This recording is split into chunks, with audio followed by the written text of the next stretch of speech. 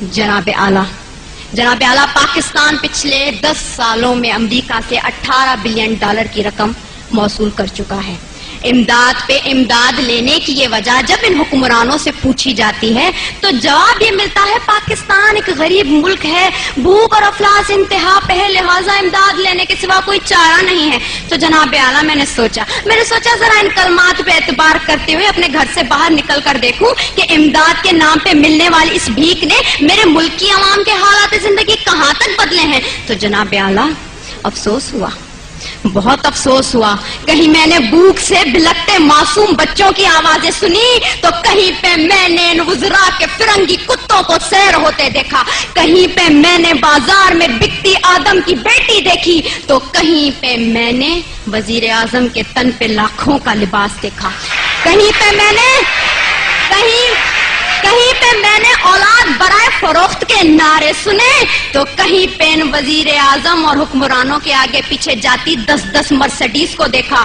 کہیں پہ میں نے آفیہ صدیقی کی ماں کو اس کے انتظار میں تل تل مرتے دیکھا۔ تو کہیں پہ میں نے اس ملک کے حکمرانوں کو امریکہ کی خوش آمد میں دن رات ایک کرتے دیکھا۔ میں کیا بتاؤں؟ میں نے کیا کیا دیکھا؟ ڈرون حملوں میں مرنے والوں کی لاشوں کو دیکھا۔ کئی عورتوں کے اجڑتے سہاگوں کو دیکھا۔ کئی نوجوانوں کو ہاتھ میں ڈگریاں لیے بے روزگاری کے عوض پارلیمنٹ ہاؤس کے سامنے آگ میں جھلستے دیکھا۔ کئی میں نے بزرگوں کو پارلیمنٹ ہاؤس کے سامنے پینشن نہ ملنے کی خاطر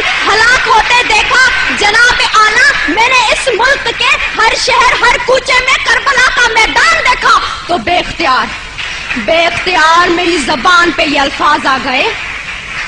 اصول بیچ کے مسند خریدنے والوں۔ نگاہ اہل وفا میں بہت حقیر ہو تم۔ وطن کا پاس تمہیں تھا نہ ہو سکے گا کبھی کہ اپنی ہرس کے بندے ہو، بے ضمیر ہو تم۔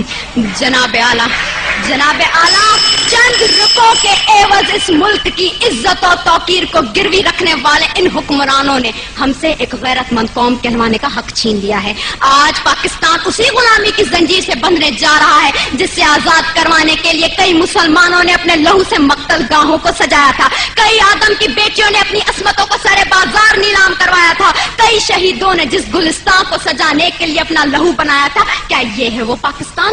میں پوچھتی ہوں جناب اعلیٰ آپ سے یہاں بیٹھے ہر شخص سے، اپنے آپ سے کیا یہ ہے وہ پاکستان؟ نہیں۔ دوسروں کے ٹکڑوں پہ پلنے والا یہ پاکستان قائد اعظم کا پاکستان نہیں ہے۔